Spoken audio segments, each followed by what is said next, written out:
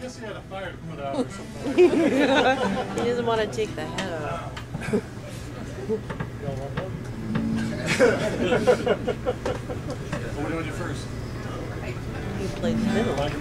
Sure. Well, Emma, guest appearance, uh, Emma on the mandolin here. Big round of applause for Emma.